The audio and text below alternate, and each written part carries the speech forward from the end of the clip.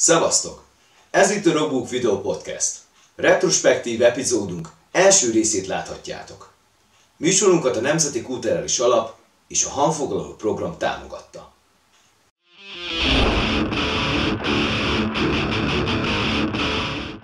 Első részünkben szeretném nektek bemutatni a Stonehenge, a Next Frame, a Superbat, a Zsír és az Isten háta mögött zenekarokat. Stonehenge Emlékszem, amikor az Angelo Salutante megjelent, hogy sokáig nem tudtam hova tenni. Aztán idővel persze megértettem, hogy milyen zenét rejt. A progresszív metal valami miatt mindig is kicsit kívül esett a perifériámon, a Black Dead, Doom és Grind valahogy sokkal jobban le tudott kötni vadságával, zabolátlanságával. Úgy voltam vele, hogy a progrok és metal műfajt meghagyom azoknak, akik ezt tényleg szeretik. Aztán teltek múltak az évek, és valahogy beért a dolog. Megismételhetetlen progresszív metal lemez az Angelo Salutante, mely magyar és nemzetközi viszonylatban is kiemelkedő eredményeket érte el. De nézzük csak meg magát a szerzőt, a Stonehenge zenekart.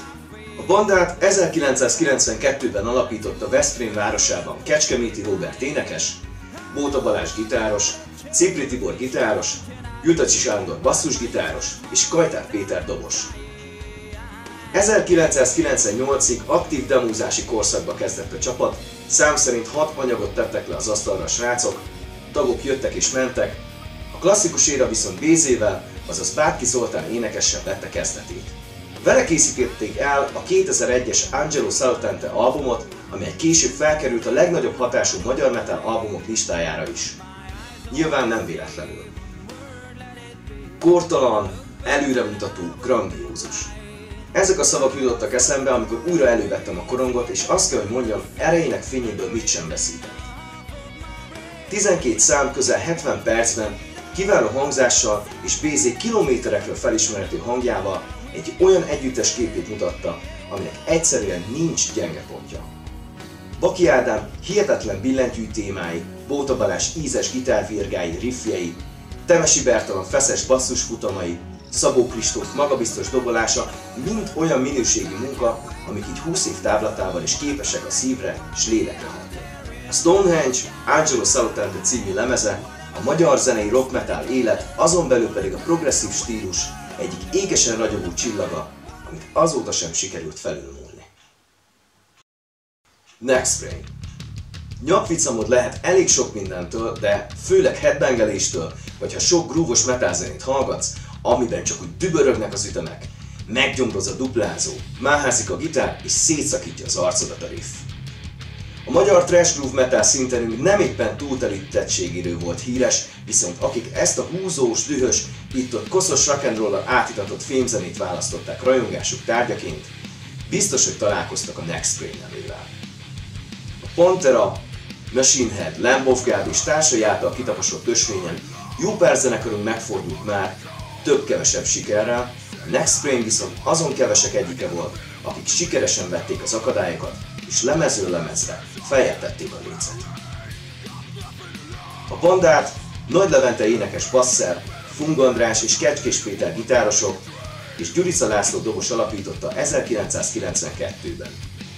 Pályafutásuk során számtalan tapcserén estek át, a magyar zenei underground színe jobban megfordult náluk, a három nagy lemez alapján három korszakra bontható a csapat története. Az Eden demóval kezdődött el minden, majd az Overgain debüttel bebetonozták magukat az akkori szintérbe, rengeteg próba, rengeteg koncert, aztán jött a kettes lemez, a True Soul Dead Body, ami már egy kiforrottabb banda képét mutatta. Az igazi áttörést a Horváth Istvánnal, azaz Pityesszel felvett album hozta meg, a Heavyweight Third Round, amely 2006-ban jelent meg. A gépezet beindult, olyan bandákkal játszottak együtt, mint a Slayer, Deftones, Testament, Fear Factory, Sepultura vagy a Dog Eat Dog. Ezt akkoriban nem sok honi zenekar mondhatta el magára. 11 iszonyat súlyos szakító számot tartalmazott a korong, mert ő csak elismerően tudok nyilatkozni, és nem csak én, hiszen a Roxanne ma újságírói szerint is a magyar metal legnagyobb hatású albumai között a helye. Ha lehet azt mondani, ekkor voltak a csúcson, és ez érződött is. Mai fülen hallgatva a dalokat, az az érzésem volt, mintha nem is telt volna el 15 év.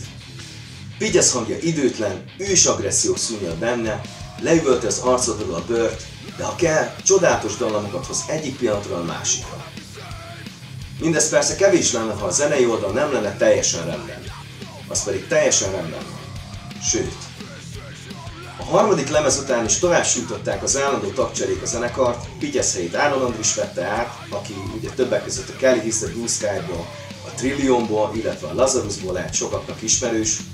Vele készült el a Godsnake záró EP, után a csapat végleg bedobta a törőközőt 2015-ben. Ha van olyan hazai banda, aki hitelesen át tudta adni az amerikai Southern életérzést, a Nola Feeling egy apró kis darabját, akkor biztos vagyok benne, hogy Next Spring egyike volt ezeknek. Zsír. Ha megkérdezik tőlem, mi jut eszembe Makorról, akkor pár dolog biztosan. A lombkorona sétány, a hagymatikum gyógyfürdő, hogy ez Pulitzer József szülővárosa, illetve a Delkatafog és a zsírzenekar. Az együttest 1995-ben hozta létre a Jáksó énekes, Ónya Zoltán gitáros, Rozsnyai Tamás gitáros, Igaz István basszusgitáros és Borvás Gábor dobos, hogy a death metal műfaján hódolhassanak. Pályafutásuk alatt 6 demót és egy nagy lemezt adtak ki. Az első demo, On This, felvételei után csatlakozott hozzá egy Kátai Tamás, aki később megalapította a már említett experimentális metalzenét játszó Dákata Folkot. Illetve Herman Balázs váltotta Igaz István basszusgitáron, aki egészen a 2007-es feloszlásig tagja volt a zsírnak. Már a kezdeti időszakban érezni lehetett a dalokon, hogy nem a szokványos módon lettek megírva, az egyediségre való törekvés aztán kruciális változásokat hozott.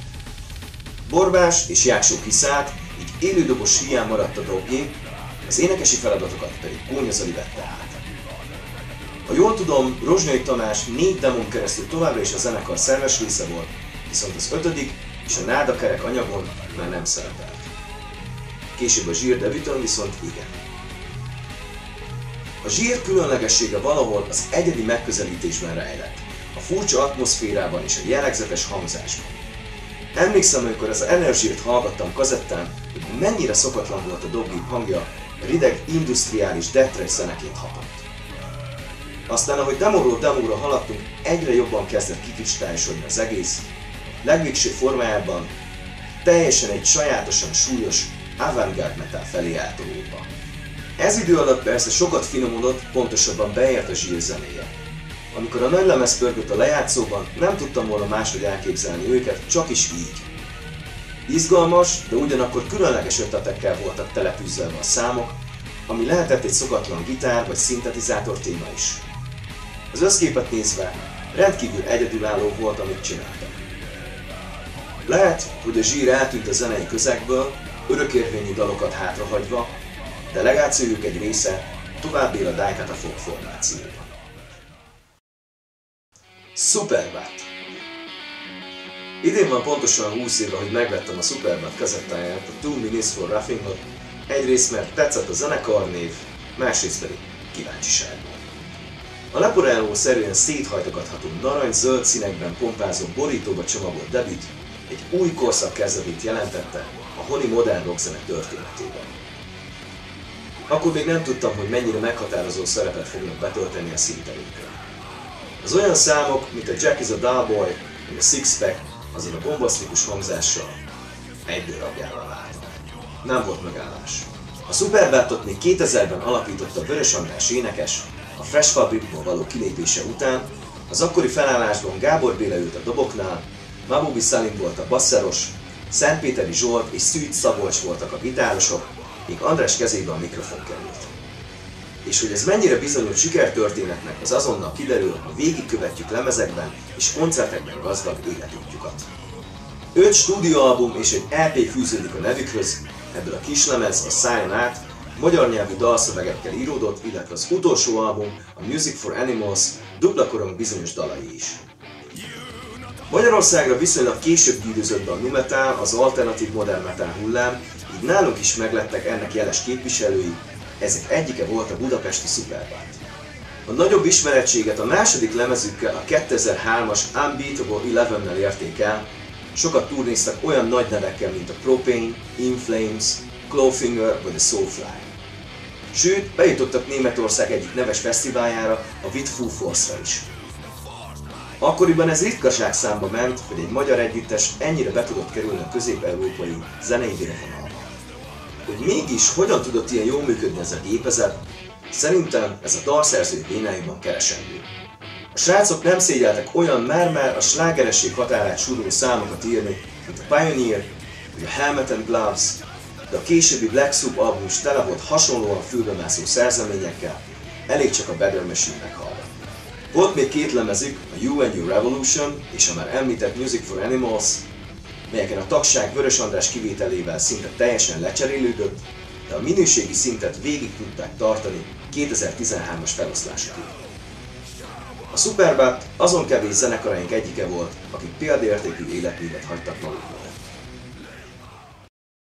Isten háta mögött Először szentesen láttam egy kis sörözőben az Isten háta mögött zenekart, még az Anger vendégeként. Sosem felejtem el, hogy Pálikás Tamás énekes-gitárosnak leszakadt a gitárpántja játék közben kb. félúton, és egy széken ülve nyomta le a koncertet. Frissek és újak voltak a szintéren, a Rosenkreuz kémiai mennyegzője debüt akkor jelent meg, szóval kiemelt figyelemmel kísértem a csapatot. A másik komolyabb emlékem velük pedig Budapesten történt méghozzá a Dürer kertben, szintén az Engerti társaságában. Rengeteg ember, frenetikus hangulat, és ha jól emlékszem, a sokakat megosztó üllemez épp akkor jött ki, én viszont nagyon megszerettem, így felejthetetlen élmény volt számomra hallani minden korszakukból egy-egy darabot. Akkor még nem sejtettem, hogy nem lesz folytatás, és hogy pár év múlva vége a varázslatnak. Az Isten háta mögött zenekart Bokros Csaba gitáros, Pálinkás Tamás gitáros énekes, Györfi István basszusgitáros és Hortobágyi László dobos alapította 1999-ben Budapesten. Pályafutásuk során három demót, négy nagy lemezt, ráadásul az egyik dupla, és egy digitális LP-t adtak ki, majd 2015-ben bejelentették feloszlásukat. A tagok egy része természetesen ilyen-olyan formációkban azért folytatta és folytatja még a zenélést, láss Tej, Nagyúr vagy az Atomki. 16 év azért mégsem tud eltűnni nyomtalanul. Az Isten háta mögött bekategorizálhatatlan, de ugyanakkor nagyon is szerethető zenéje szerintem sokakat megérintett. Grunge, prog rock, stoner és alternatív elemek Semmilyen kompromisszumot nem ismerő számszerkezetek jellemezték dalaikat, melyekhez Pálikás Tomi rendkívül elvont szürreális szövegei társultak. Egy szabad asszociációs játéknak lehettünk szem és fültanúi, miközben az érzelmi skája teljes spektrumának hullámvasútján húzott keresztül kasul a zenéjük. A srácok között mindig jól működött a kémia, még akkor is, ha hangszeres poszton változások történtek. Például Egyedi Péter vette át a basszust Györfi Istvántól, így már az ő játéka hallható kényelmetlen lemezen. Később pedig Bokros Csaba gitáros szállt ki, helyére Sándor Dániel érkezett. Az Ű volt az utolsó albumuk, amely már ezzel a felállással készült, melyen kisé elkanyarodott önmagától a zenekar, és amit szerintem abszolút formabontó módon vitt véghez. Az Isten háta mögött mindig is saját magát kereste a hangok tengerében, melyet aztán meg is talált, és amiért nem lehetünk elég hálásak, hogy zene formájában ezt megmutatta nekünk. Ennyi fért bele mai adásunkban, de ne csüggedjetek, mert hamarosan új részekkel jelentkezünk. Ha nem akartok lemaradni az aktuális tartalmainkról, iratkozzatok fel a YouTube csatornánkra, vagy kövessétek be a Rockbook Facebook oldalát. Szevasztok!